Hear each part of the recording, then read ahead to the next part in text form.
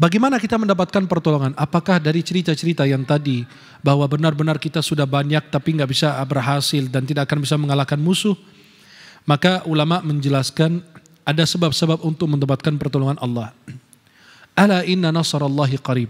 Pertolongan Allah itu sangat-sangat dekat kepada kita. Yang pertama adalah al-iman. Kalau ingin kita berkuasa di muka bumi, beriman. Allah berfirman, "Wa'adallahu alladhina amanu minkum wa 'amilus salihat." La yastakhlifannahum fil ard. Allah berjanji kepada orang beriman, beriman dan beramal saleh. Allah akan berikan mereka berkuasa di muka bumi.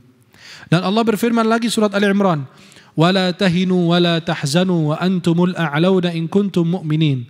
Jangan kalian sedih, jangan kalian merasa hina, jangan kalian merasa rendah karena kalian adalah orang yang tinggi. Wa antumul a'launa in kuntum mu'minin. Jika kalian beriman kepada Allah Subhanahu wa taala.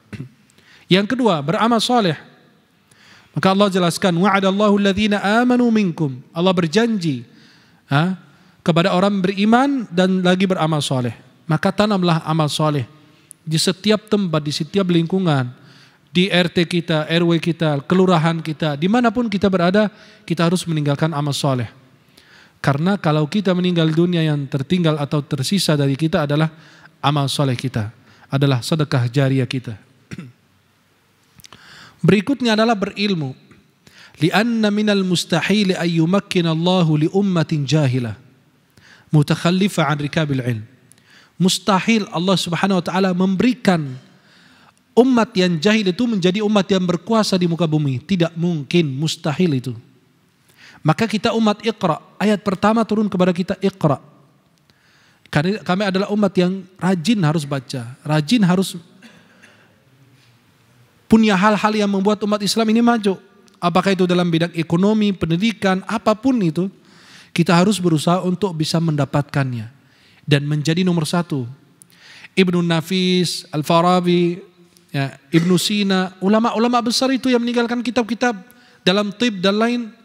Ya, Al-Khawarizmi, semua itu meninggalkan dalam bidang-bidang ya, kedokteran dan lain dan diambil oleh orang kafir. Mereka malah maju Sedangkan itu semua ilmu daripada kita semuanya.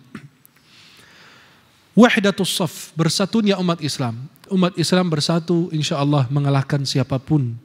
Ya, maka Allah berfirman, wa'tasimu bihablillahi jami'an wala tafarraqu. Kita harus senantiasa menjaga persatuan dan kesatuan kita agar kita bisa meraih kemenangan dan mudah-mudahan Allah berikan kuasa untuk umat Islam di muka bumi. Amin ya rabbal alamin.